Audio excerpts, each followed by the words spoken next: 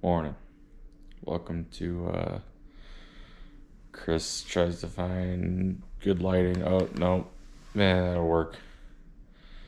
It's early. It's almost six o'clock right now. And we're going up to the lake. Me and Ken are gonna hit Lake Michigan for something. Might be coho if they're there might be suckers if the coho aren't there. I'm gonna try to catch something. Brought a couple different rods and uh, some different gear. I'm freaking tired. I'm, gonna get some caffeine in me and get moving. It's kind of cold out. It's probably like 30 degrees, which isn't that bad, but it could be bad when you're out on the pier and just sitting in it and can't warm yourself up. So we'll see how that goes. I might actually take some hot hands. You know what? I'm gonna take some hot hands. I might put my bibs on. Why don't I do that? Yeah. No. I don't know. I'm gonna try to wake up and we'll see you guys on the water.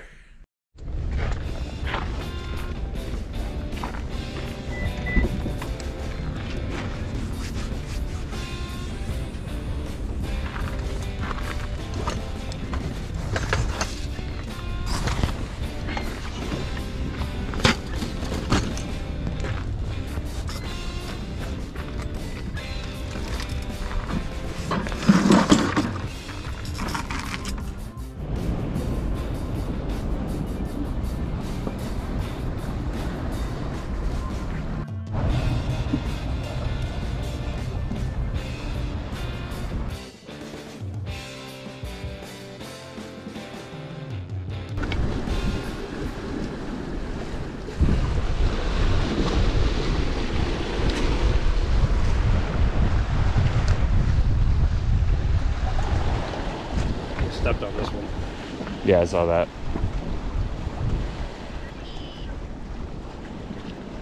Added flavor. Nice. Grab the net. It's that, it's that little kid bowl. I swear to God. We'll take his son fishing. His son will always. Get the. Where? Ours is open already. The ear's a little bit bigger than Make sure to step on every rod on your way over. Scoop. that one would be close. know if that's deep. Worth a measure. That'd be close. You might not make it. Um, can I get a judgment? It's looking good to me. Keep it. That's a keeper. That's a keeper. Just barely, but it's a keeper. Yeah. He's cold. Four, 14. when it's warmer. Four. No, we're not. Got him. Nice.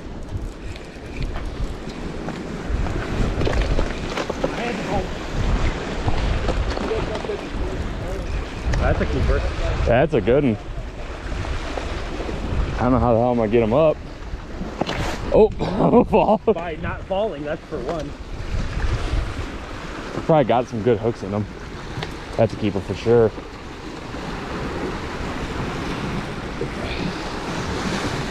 Hang on. I'm working them. Got him. Yes. I don't know if that's a keeper. You might feel throw I think he'll fly. If that if that one was a keeper, this one's definitely good. Well, I don't got bait on this one, so that could be why I'm not getting the bait. That's probably a real bull. That's a keeper. Yeah. I go 14. Yeah. Yeah. Sweet. One. Think he'll be good right here? I'm gonna kill him first. It's in the Meijer bag.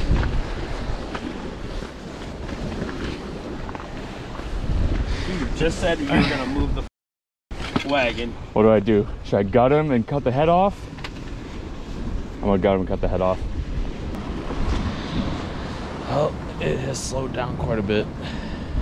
Got a bunch of people behind me, so I'm not gonna talk too loud. But Ken left. this is Northwest Indiana fishing. When most people think about it, this is what they think about. Coho, maybe going out on a boat on Lake Michigan, going for kings, whatever, steelies. Fishing places like this, fishing break walls and just sitting and waiting.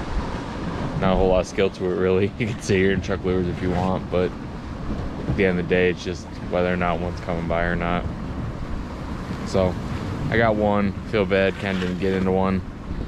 I'd like to get two to make a meal out of. I got plans. I think uh, I think coho, rice pilaf, and mushrooms. Yeah, it sounds pretty good. Coho probably our best eating fish up here. They're uh, not huge. They don't get huge, huge as far as salmon go, but they're delicious. Nice uh, pink, not very red meat. And uh, yeah, keep watching these lines and try to get into one more. Make a meal with Ken and yeah. I think if I don't get into one, I gotta come back tomorrow. That's just kind of how how it's gonna shape out. I think.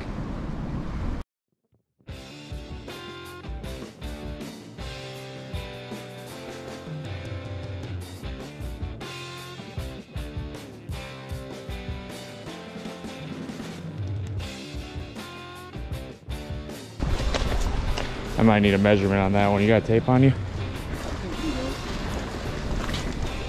You got tape, man? Yeah. Oh yeah. He's on 14. Nice. Like, how do you land it on the same goddamn... Dude, I can't. They're, mine's hitting the water and they're hitting it right away. I don't think I could even do two rods if I wanted to. Well, this one's not doing my bead's gone. I have to get. One. You, got, you work? Yeah, 14 and an eighth. Net. I got you, man.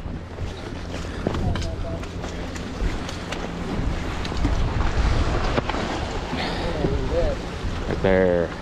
He's fat. Ooh, stick. In. It'd be Tape close. measure, Yeah, definitely. yeah, he's like in. You'll probably be able to get your hook back out of him. Going the wrong way. Look at this guy. That looks small.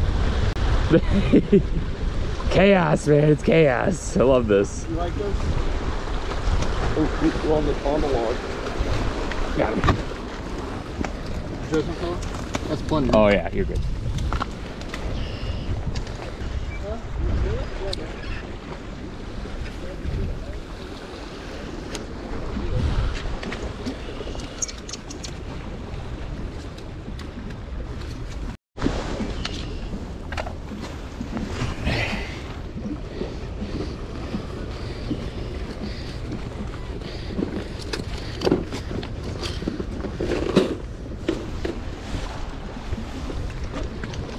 Hey, you got some luck.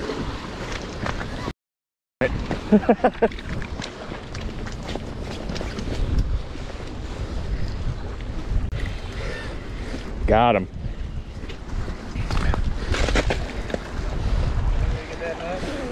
Uh, maybe.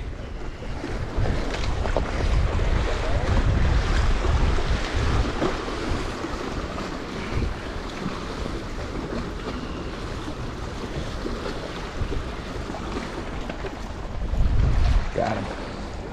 I bet he'll fly.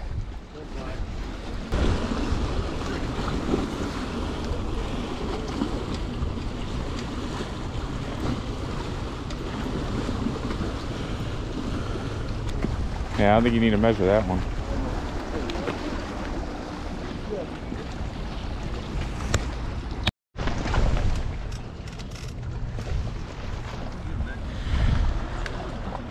We got two in. They got three or four. It's chaos. Can barely clean the fish or prep the fish before I get another bite. I think I'm getting another bite now. Maybe. It's a good day. It's way better than yesterday. This is awesome. Just reel in just a little bit. Oh, oh.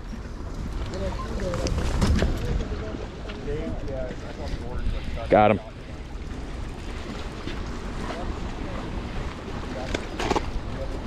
in a minute. I think I got him.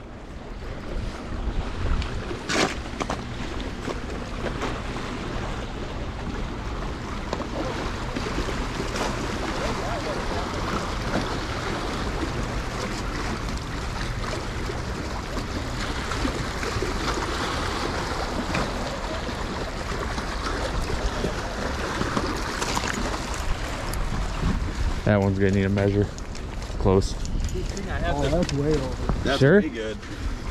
I wouldn't even measure it. Okay. Sure, I think it's closer to 16. Okay. Where's that thing? Well, he's also already bleeding, so he's mine now. oh yeah, 15 and a half. He's like 16, almost. Nice, sweet. Thank you, sir.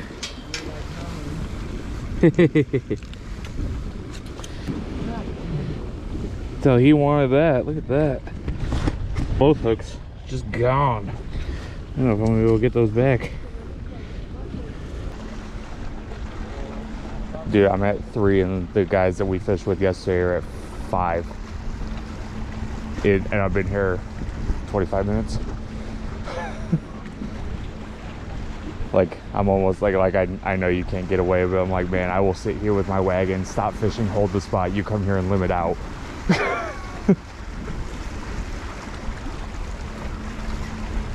yeah, but for five fish. Still on? He's running at you? I don't know. This is this is what we needed yesterday. So, dude, they're both on right now. All right, I'm gonna get off the phone so I can help them. Bye.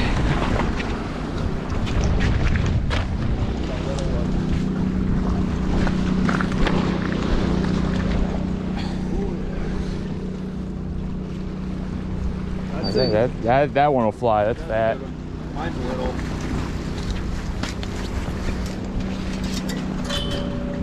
Oh, yeah. Uh oh. I think he'll fly. Oh, yeah. Come on, bud.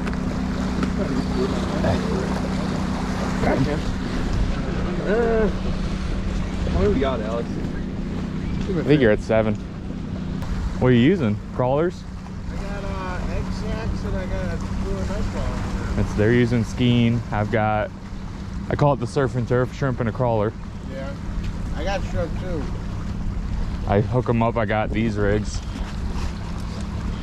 It's like a crawler harness. Okay. So I just got two hooks. I thread the shrimp on here, put it there, then hook the worm at the tip and the tail. It was like a walleye. throw a weight. rig. Yeah, they work. But these guys are just using single weight, I hooks. got hooked up on a rock. you need you need weights or I mean, if you got What do you got? extra on that, I, uh, I was about to make a run at Bass Pro right here. one ouncers? Appreciate it, man. Yeah. What are you guys doing better on? Shrimp? So we're both catching, he's caught more than I have on skein, but I mean I'm still catching them on shrimp and crawlers. Maybe I'll try shrimp on the other one. All right, appreciate it, man. Yeah, no problem, man. Steve's definitely been a ticket today. Oh, dude, I had one on the whole time. oh, he's gone. My line was slack. yeah, he's 14 for sure, man. Oh, appreciate it. Yeah, no problem. I was like, yeah. I know you fucking fishing this lake. What do you got? One more? yep, one more.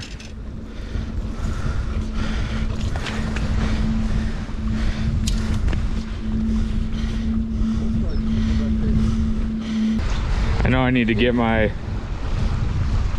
gimbal. You mind taking a picture for me?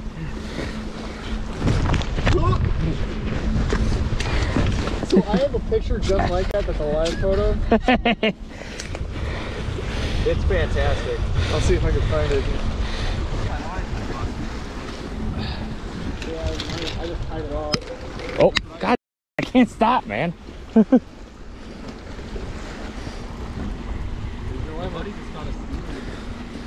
Got him. He feels small though. Ah, just I lost him right here, dude. Did you? Yeah, I saw him. I don't even want to put it in the holder. Dude, that's what I just stopped setting it down and just kept fishing because they were hitting so fast.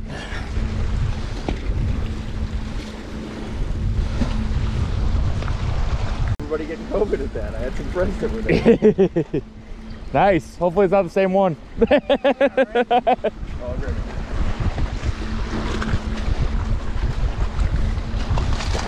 I don't know. He's close.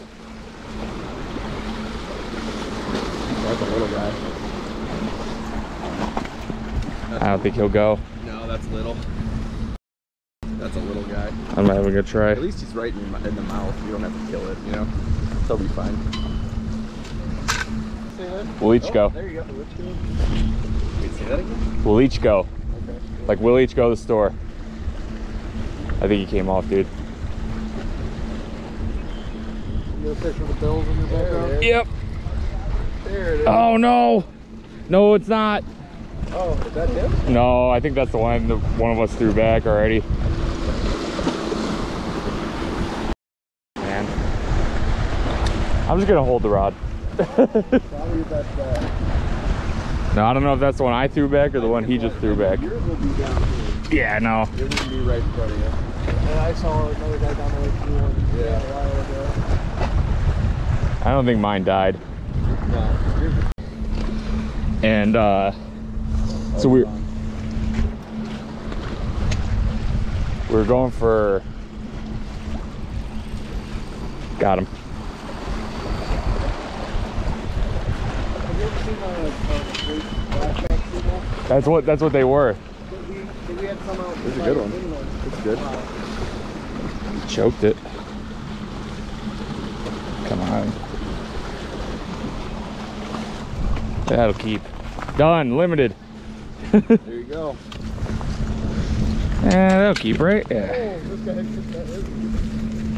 This is going wild. Stop.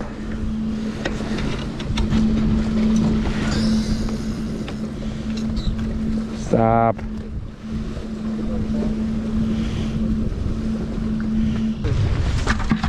You want your shrimp back, man? Watch it. There go. Put it all together. Right on the back, right?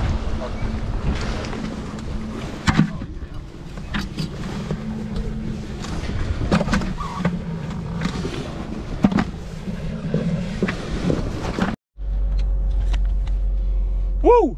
That was awesome. All right, I don't know how that filmed, but uh, linked up with Alex and Ben, and they uh, limited out to we limited out like a freaking hour, man. So they got their ten, I got my five, and uh, trying to get buddies to come out because that was freaking wild. That's the best coho fishing I've ever had. Go home and get these guys cleaned up. So I got my five, I got my one from yesterday. Should have some pretty good meals coming up. I'm gonna play one with Ken and film that. So day two, way better than day one.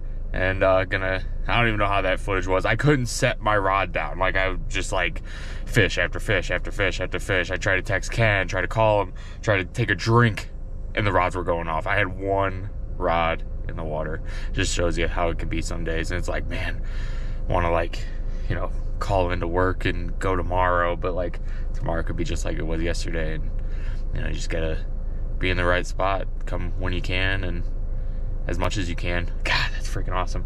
We're gonna cut the cleaning. Uh hard cut. Don't fall. Welcome to the cleaning table. Uh in all that chaos today, I probably forgot to show the rigs. Um and probably also yesterday because I'm terrible. So, what was I using? So for coho, steelhead, pretty much all of those salmon that come in. There's salmonid species that come into the shores on Lake Michigan. I use pretty much the same rig. It just depends on whether I go top or whether I go bottom. So today, what worked was bottom. A lot of time you'll see guys floating skein, stuff like that. Uh, those were working today too. Using skein was working. Uh, float rigs were not working today though. Bottom rigs work. So I'm gonna show you what I do for bottom rig. Uh, it's pretty similar to my catfish rig with a couple little nuances. So shrimp, nice healthy chunk shrimp. I actually had tiny shrimp because I had to borrow some today. Then rod doesn't really matter. Um, today I was mostly using an eight foot six medium light. Uh, I had a nice noodly tip, mostly because we were having to lift them up over the rocks. Uh, you really don't need that crazy long of a rod. Uh, the most fun I was having was on a seven foot light. Uh, this is a seven foot medium. Uh, it's also very fun to catch them on. You don't need big honking uh, catfish rods to reel in these fish. If you're going for bigger steelhead, you might want to beef up a little bit, maybe go with like a 17 pound mono or something, but you really don't have to. Um, so this is just a 10 pound mainline uh, mono. It's orange. Uh, it's actually one of my cat or smallmouth setups. And then I have a little slide clip on there. Uh, these things are great for putting your weights on and making sure that you can take them off and put your rods away cleanly without weights bumping into everything and getting all tangled. Um, also allows you to change your weight a lot easier to a swivel. And then I have, this is, I believe this is 12 pound fluorocarbon that I tied these with. And this is actually a crawler harness uh, for walleye. So if you've ever heard of a crawler harness, uh, you get your crawler harness and tie them with fluorocarbon uh, for you northerners. Um, that's what this is. So just a crawler harness with some beads to add a little bit of flash.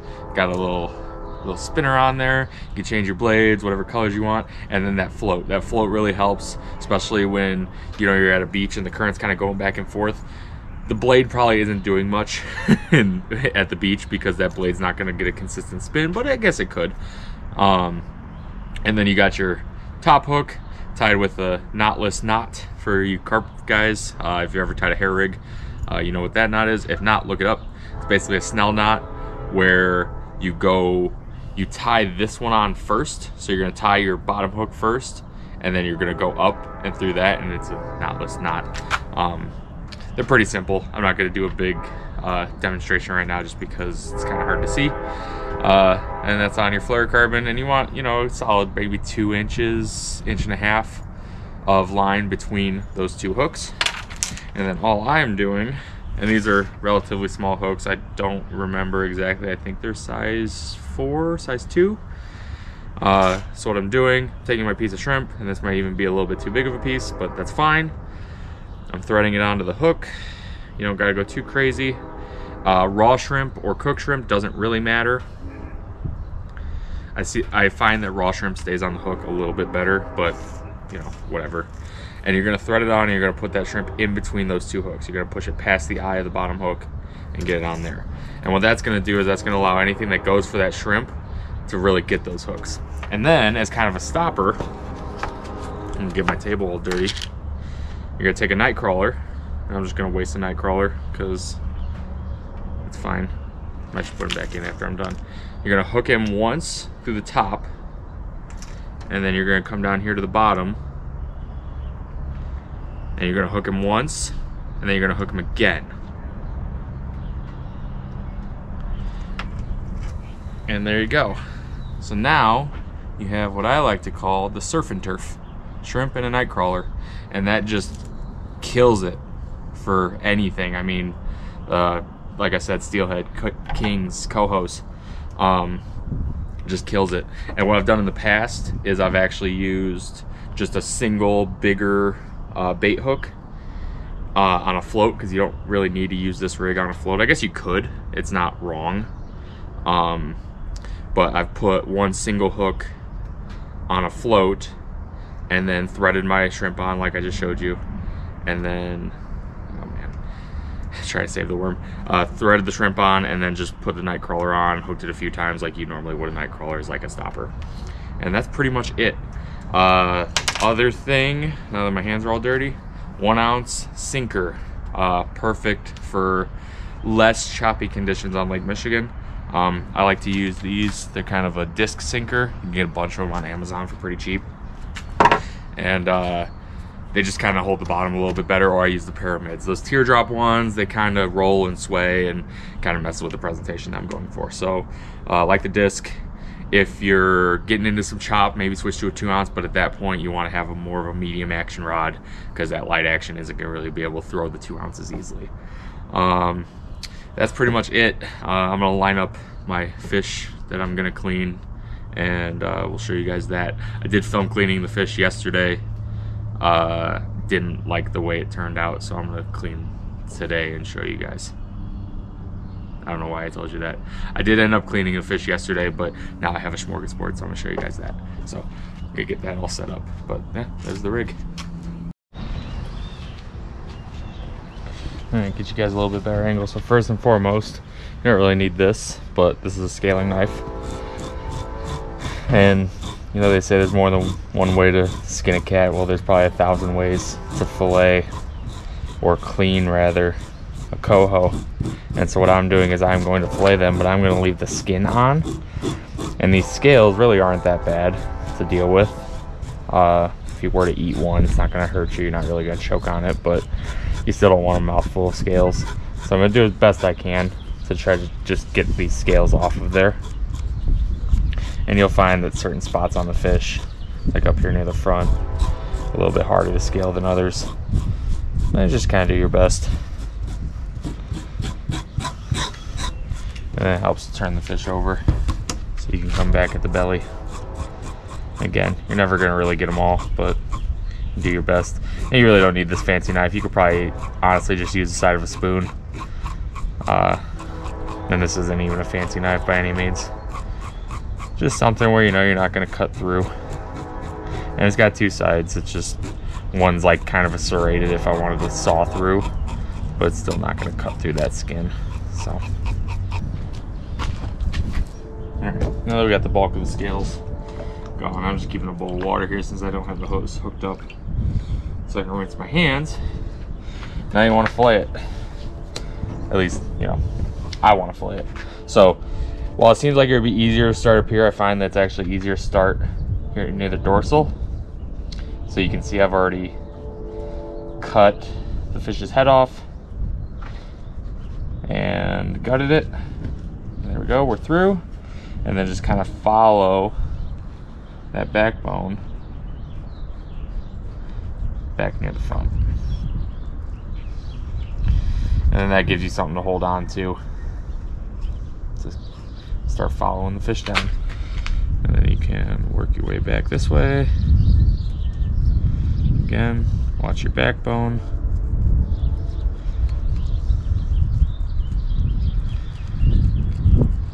And for how small these fish are, there actually is a pretty good amount of meat on them. So you don't need to be perfect. You can afford to miss a little bit. Still don't want to, obviously, but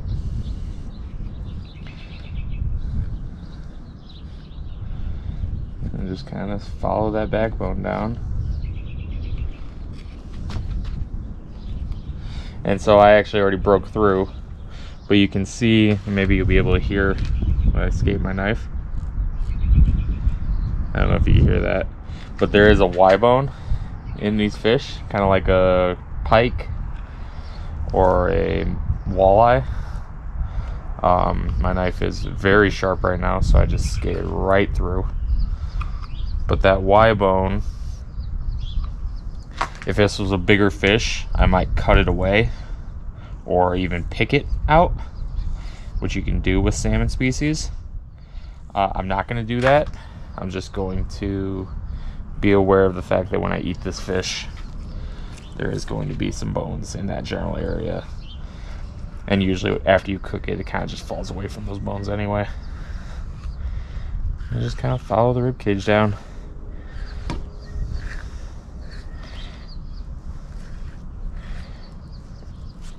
Really just like filleting any fish. Nothing crazy.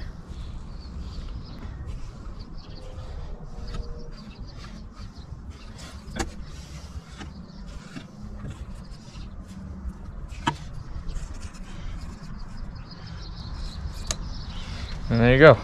Nice, beautiful. I'm to trim that fin off. But a pretty good job there. Didn't really leave much meat on the bone trim that. You don't really want, really, this whole area of silver skin could be trimmed. But you definitely don't want to eat that fin. The tissue is going to be pretty dense. Well, there you go. There's your beautiful coho fillet. And then what I'm going to do with these, looks like I got a little more trimming to do. Uh, that's why I took the scales off because I'm actually going to cook them with the skin on and actually you can eat the skin and I'll show you guys that planning to do a little cooking video with Ken. So when we get to that, you'll see that. But I got a few more fish to clean. And that's pretty much it. Like I said, I'm leaving that Y-bone in there just to try to save a little bit of meat. And it doesn't really bother me that much. Yeah, so we'll uh, see you guys probably in the kitchen.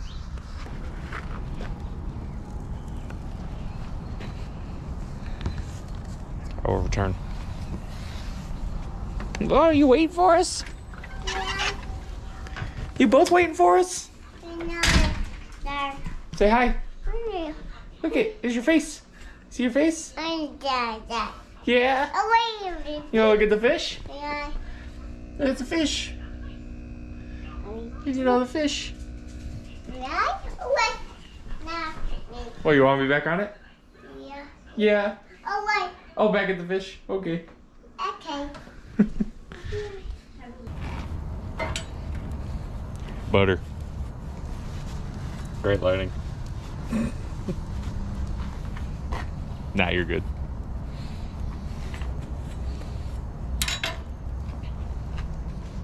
It's more of a joke against myself. You don't need to do anything. like, literally, you don't need to do anything. Butter. Mushrooms. All of the mushrooms.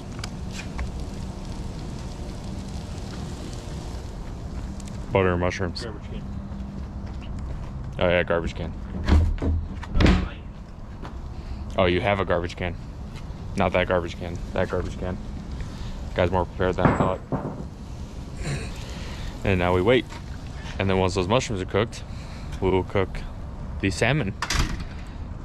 And hopefully have enough light to film. Oh, you can see me there.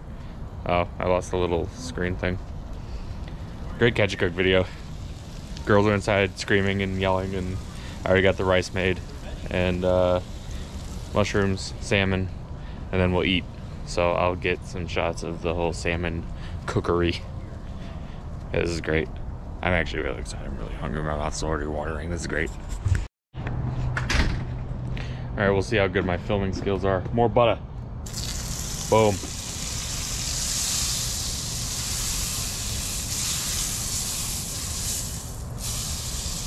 Okay, more butter accomplished. Now, the trick with this salmon is going to be to fry it flesh side down first. I say fry, really saute or pan sear. Let's say pan sear. That sounds better. So you're gonna pan sear. So I got these nice fillets. You got a flesh side and skin side. You wanna go flesh side first. And you're gonna see them shrivel up pretty quick. And you're gonna hurry up and grab all of them. I could do three.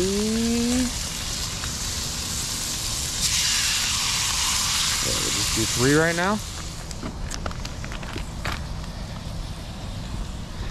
This is uh, this is really easy to do without my camera guy.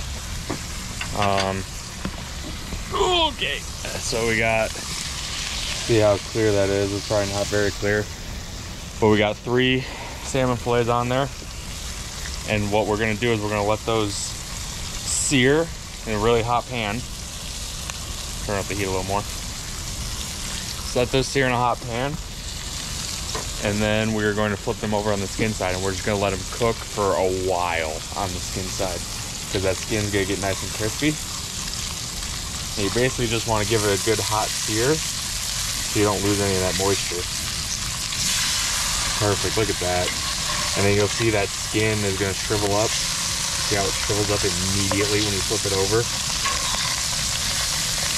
A little bigger. Come on. It shrivels right up. And then we're gonna let those cook for a minute. Try to get that skin nice and crispy. Ah, light. Aziz. Light. We have light. You can see the fish now. God, looks so good already. I want to get that skin crispy though. That's three, and then I got two more. The three the better. Aha! As long as it doesn't fall.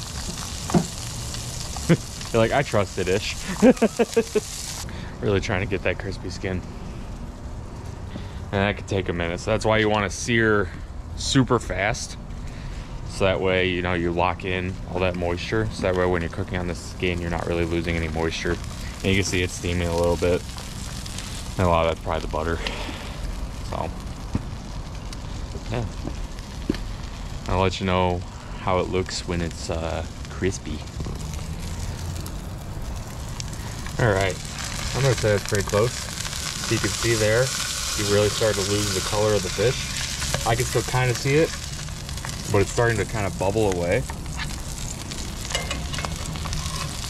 And then you know for sure that your skin has gone crispy.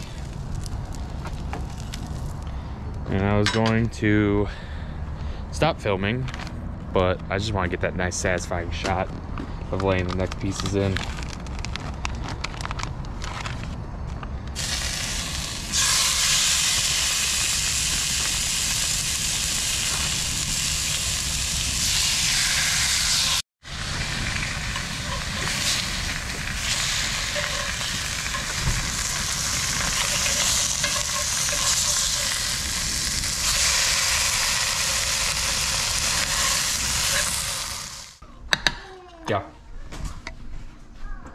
Audio only. Okay. Audio. Yeah. Or Video. video. Um. Alright. We got Blippi. Is that what this is? Yeah. On in the background. We got beautiful plate. And we got first bite. This is my first bite. So like I said, I did not debone, but should be pretty easy to find. Skin is nice and crispy. Let's go ahead and show you guys that. And here we go. Mm-hmm. Mm-hmm. Mm-hmm. There's a reason that they call that Lake Michigan candy. Yeah, that's what they call it. Oh yeah.